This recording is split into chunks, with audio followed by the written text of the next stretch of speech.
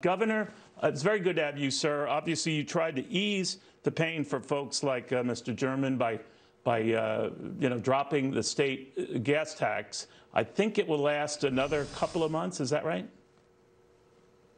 Yeah, it started, it started uh, just a week or so ago. It's going to last for two months.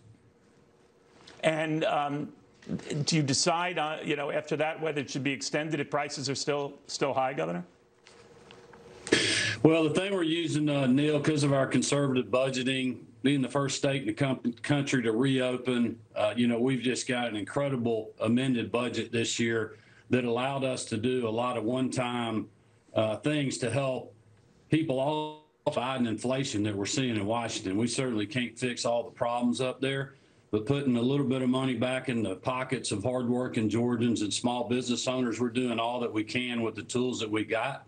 Uh, the two-month moratorium on gas and fuel, or fuel and gas, uh, is certainly going to help. We're also returning over a billion dollars of excess funds that we had, uh, $250 for every person, um, or 500 if you're filing as a family.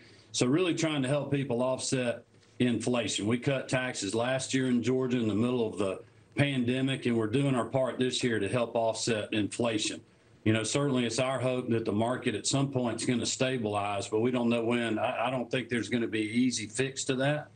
Uh, but we're working on continuing to lower taxes this year with the rest of the legislative session that we have to try to help our folks be able to just plow through this 40 year high inflation that we're seeing because of bad policies in Washington, D.C.